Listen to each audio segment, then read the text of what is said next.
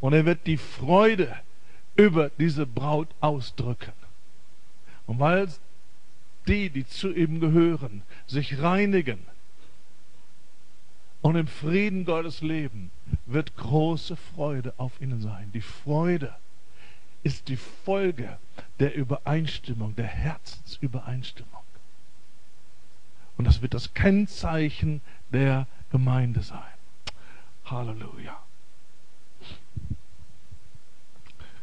Halleluja. Ich sagte, dass die Braut bereitet wird, indem sie die Worte Gottes hört. Und es sind die Worte, die widerspiegeln, die einen lebendigen, nachhaltigen, bleibenden Eindruck vermitteln über das Herz Gottes.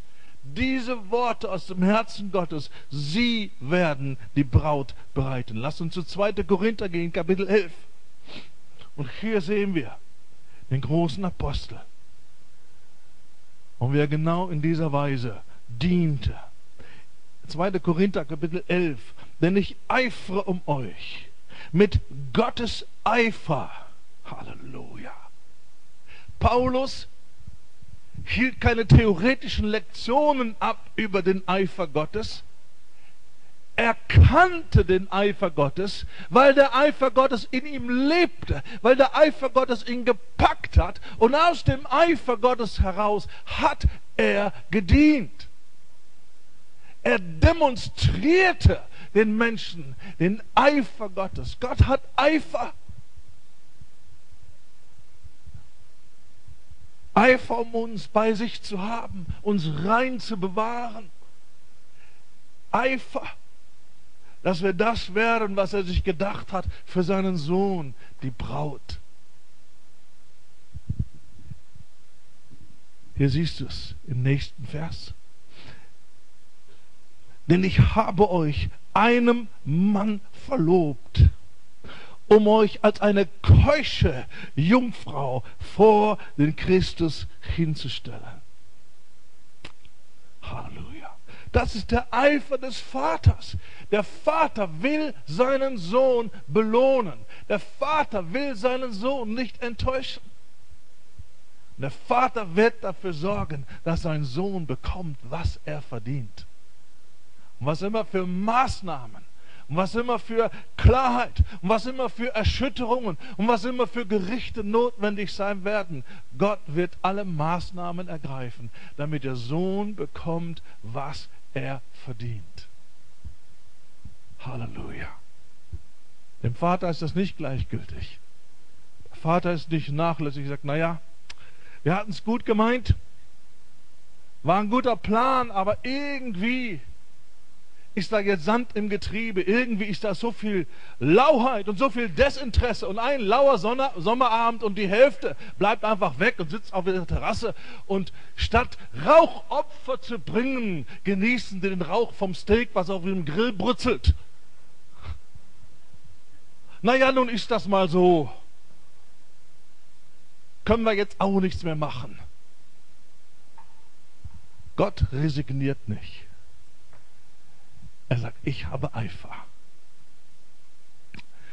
Und dieser Eifer wird etwas tun.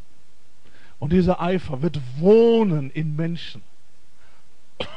Und aus diesem Eifer heraus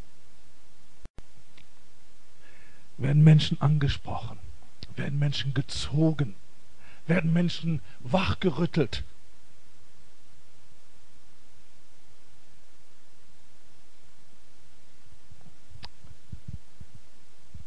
Und sie erleben das Herz Gottes, seine Sehnsucht, sein Eifer. Oh, Halleluja, was für ein wunderbares Wort. Dass der Eifer Gottes in eine Menschenwohnung nehmen kann. Was für, ein, was für, eine, für eine Dimension der Erlösung.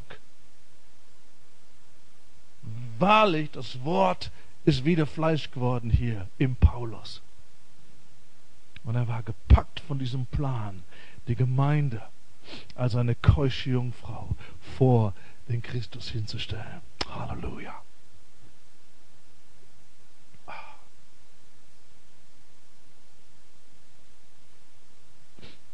Ich hoffe, ihr habt euch auch was zu trinken mitgebracht.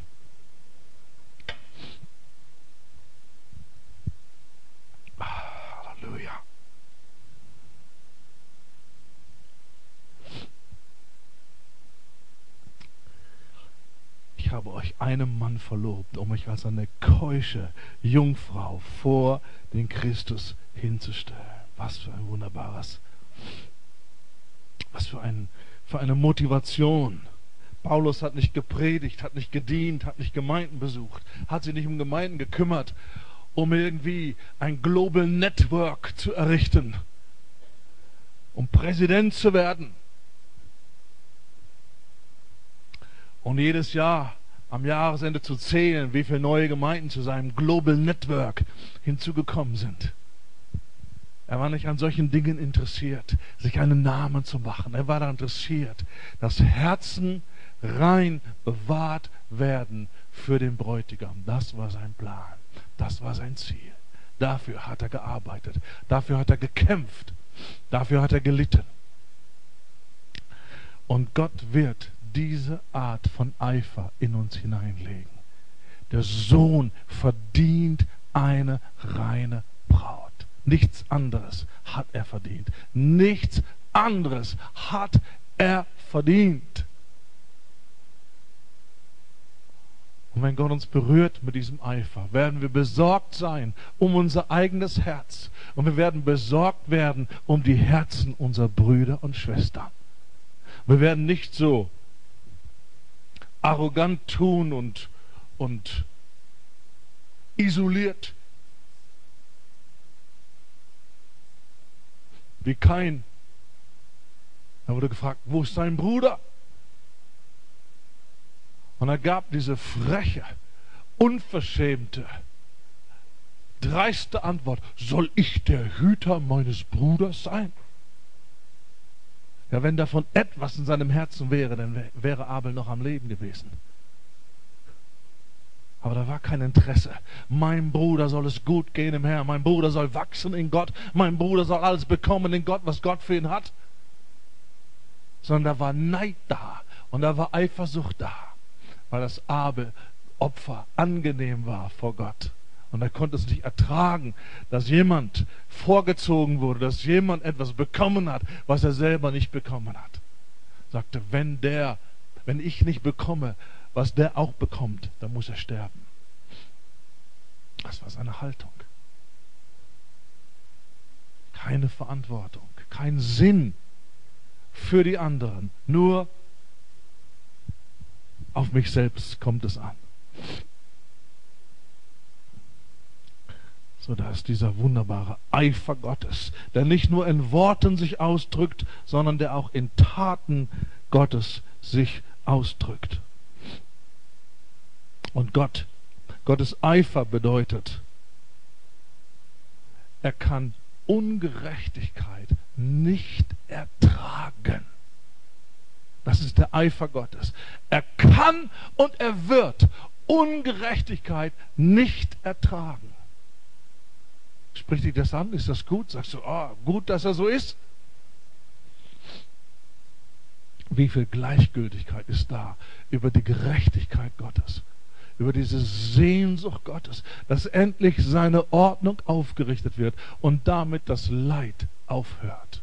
Wenn die Ordnung Gottes aufgerichtet wird, hört das Leid auf. Und das ist das Ziel. Dass die Menschheit endlich unter die Ordnung Gottes kommt. Und der Eifer Gottes bedeutet, unser Gott kann Bosheit nicht ertragen. Und er wird sie nicht ertragen. Das ist so eine Hoffnung, wenn wir all dieses Zeugs um uns herum sehen. So eine Hoffnung. Es wird ein Tag kommen, wo das zu Ende ist. Es wird ein Tag kommen, wo die Lüge und die bewusst falschen Versprechungen nur um im Moment ein bisschen die Luft rauszunehmen, um einen Moment ein bisschen irgendwie die Wogen zu glättern. Und all diese, diese Dinge, all dieser Betrug, all diese Beraubung, es wird zu Ende kommen weil Gott Gerechtigkeit liebt. Und er wird sie herstellen. Er wird sie herstellen. Am Ende haben wir einen neuen Himmel und eine neue Erde, in welcher Gerechtigkeit wohnt. Das heißt doch nicht, in welcher permanent Gottesdienste abgehalten werden, sondern in welcher Gerechtigkeit wohnt. Unser Gott hat Sehnsucht nach Gerechtigkeit. Und wenn wir ihn kennenlernen und wenn wir mit ihm gehen, dann fängt diese Sehnsucht an, uns zu ergreifen. Jesus sagt, selig die hungern und dürsten nach Gerechtigkeit. Nicht Passivität, nicht, naja, das ist nun mal so. Was kann man schon machen? Wir dürfen unsere Herzen nicht kalt und stumpf werden lassen. Wir müssen drin bleiben in diesem Eifer, in dieser Hoffnung. Es wird einen neuen Himmel, eine neue Erde geben. Und es wird ein Tag kommen, wo kein Schmerz, kein Leid, kein Betrug, kein Missbrauch, keine Manipulation, keine Selbstverherrlichung und all diese Dinge, die das Leben so schwer machen, es wird sie nicht mehr geben. Und für immer wird der Teufel weggesperrt sein und nie wieder Zugang haben zu den Herzen der Menschen. Das ist die Hoffnung. Und die müssen wir kultivieren und darüber muss eine Dankbarkeit sein. Wir dürfen nicht sagen, naja, steht in der Bibel, okay, wird wahrscheinlich auch so sein, aber das hat mit mir und mit meiner Beziehung zu Gott nichts zu tun. Wenn du das rauslässt, kein Wunder, dass kein Feuer da ist. Kein Wunder, dass kein Eifer da ist. Kein Wunder, dass kein, keine Bewunderung über deinen Gott da ist. Er ist anders, total anders als diese Welt. Total anders. Und die, die sich rufen lassen, heraus aus der Anpassung an diese Welt, hinein in Anpassung an sein Herz, die sind gesegnet, sagt Jesus. Selig, glückselig die, die hungern und dürsten nach Gerechtigkeit. Oh, das müssen wir kultivieren. Jedes Mal, wenn du Nachrichten siehst, die Zeitung aufschlägst, mit dem Nachbarn sprichst und hörst von all diesem Elend, von all diesem Zeugs im Kleinen und im Großen, in den Häusern und in den Nationen. Wir dürfen das nicht loslassen. Der gerechte Richter wird kommen. Er wird kommen. Es wird ein Tag kommen, wo Gott endgültig mit aller Bosheit abrechnen wird.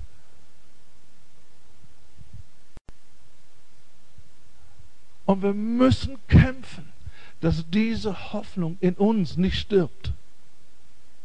Nicht um der Welt willen, um unseren Willen. Wenn diese Hoffnung stirbt, wenn das nicht mehr etwas ist, was uns in Bewegung bringt, in Dankbarkeit bringt, in Anbetung bringt, in Hingabe, dann sind wir losgelöst von ihm. Dieser Eifer brennt in unserem Gott. Hebräer 1, Vers 9. Du hast Gerechtigkeit geliebt und Gesetzlosigkeit gehasst. Das ist unser Jesus. Halleluja. Freust du dich, dass in seinem Herzen unbändiger Hass ist? Ja, ich freue mich darüber. Er sagt nicht, naja, diese Dinge gehören zum Leben, das ist nun mal so, man gewöhnt sich dran. Ich bin schon länger dabei und das ist einfach so. Der Hass im Herzen Jesu auf die Bosheit ist lebensnotwendig für dein geistliches Leben. Und wir haben zu lange einen harmlosen, domestizierten, angepassten Jesus gehabt, der nicht der Jesus der Schrift ist. In seinem Herzen ist Liebe zur Gerechtigkeit. Und Liebe zur Gerechtigkeit ist nur dann echt, wenn sie einhergeht mit Hass auf Gesetzlosigkeit. Sonst ist diese Liebe nicht echt. Und in unseren Tagen der humanistischen Verführung wollen manche lieber sein als der liebe Gott.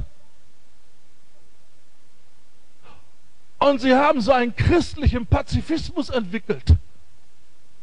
Oh, Hass in meinem Herzen auf das Böse. Nein, das dann doch nicht.